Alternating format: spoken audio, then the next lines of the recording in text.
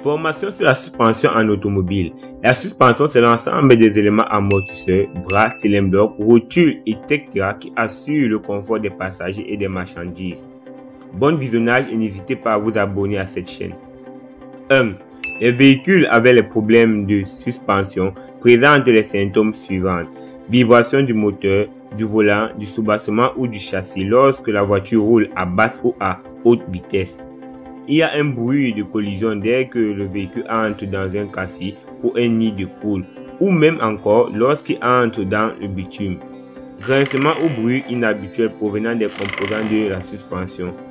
Le véhicule tire à droite ou à gauche. Non seulement cela, mais nous devrions vérifier notre suspension assez souvent lorsque nous voulons faire de longues tournées. 2. Comment contrôler l'amortisseur? Pour commencer le contrôle, il faut savoir qu'il existe plusieurs types d'amortissement. Ressort à lame amorti, ressort à ressort amorti, barre de torsion amorti. Le contrôle des amortisseurs est effectué par des tests visuels et physiques, c'est-à-dire avec les amortisseurs à huile, vous avez deux possibilités. Vérifier la présence du sur le corps de l'amortisseur qui est signe de sa défectuosité ou le démonter et l'appuyer en vérifiant s'il cogne au fond. S'il ne parvient plus à remonter toute seule, votre amortisseur doit être remplacé. Le bas de votre voiture peut s'affaisser en raison des performances des amortisseurs. 3. Comment contrôler une rotule de bois? Vous devriez savoir qu'une rotule est une pièce maîtresse dans la direction de chaque voiture et c'est généralement les rotules de direction qui se détruisent le plus souvent vu leur sollicitation.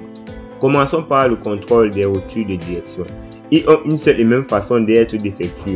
Si votre rotule présente un jeu vertical, c'est-à-dire tu tires vers le haut puis pousse vers le bas, une rotule normale ne peut pas avoir un jeu ou du moins ça sera impossible de tirer vers le haut et pousser vers le bas. Ce contrôle peut s'effectuer sur le véhicule sans démonter. Notez bien, uniquement pour les professionnels expérimentés.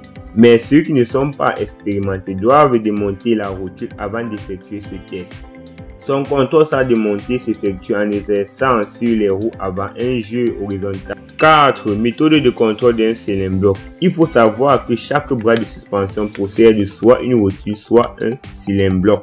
Et certains sont une combinaison des deux. Donc si le bras est défectueux, il pourrait s'agir d'un cylindre ou d'une rotule défectueuse. La vérification du cylindre est l'une des moyens les plus simples de vérification. Si votre cylindre présente des signes d'usure comme les ententes corporelles, c'est signe que votre cylindre est défectueux et ces défauts provoquent généralement des secousses de la suspension ou un déséquilibre du véhicule.